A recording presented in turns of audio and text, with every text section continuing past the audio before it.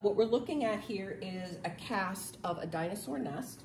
Um, Roy Chapman Andrews' expeditions to Mongolia were the first to document that dinosaurs laid eggs. And that is probably one of his first early national, you know, international contributions to science.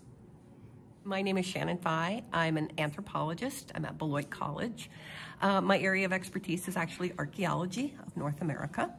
We're currently in the anthropology lab um, where we are currently storing materials that were recently donated by Sarah Appleby. Uh, the college's archives is currently under restoration, and so we are housing them here in my lab because it's climate controlled. I am also the president of the Roy Chapman Andrews Society. So um, I have the ability to, to store these materials and access them as needed. Um, Roy Chapman Andrews um, is one of the most esteemed alums of the college.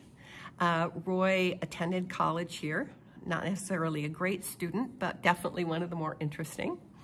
Um, he was raised in Beloit. Uh, he was very much known for um, hunting, for trapping. He taught himself taxidermy. That is apparently one of the ways he paid for college. Um, and so even in college, he continued to do a lot of canoeing, hunting, etc when he graduated, he headed east, um, bound for New York. He was determined to work for the American Museum of Natural History, um, knocked on the door. They had nothing. He begged.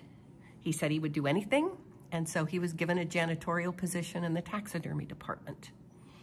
Um, that led to him working with the whales. Um, he was tapped because of his background in hunting and taxidermy to assist and that basically made his, started his career of advancement.